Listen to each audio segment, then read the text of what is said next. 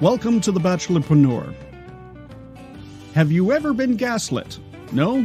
Well, here are 10 gaslighting examples. See if you recognize any of them.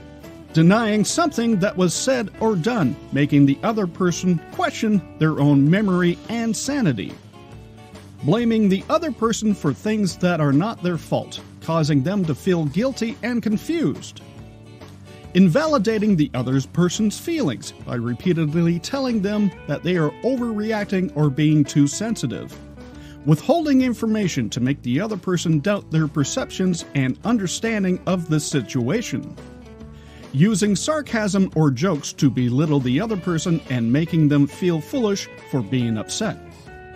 Click like, share, subscribe, and comment below projecting one's own negative behaviors onto the other person, making them feel responsible for problems in their relationship.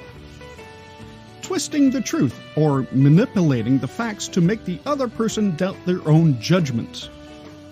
Creating a sense of confusion by changing what was said or done, leading the other person to question reality making the other person feel isolated and alone by undermining their relationships with others and portraying themselves as the only one who understands them.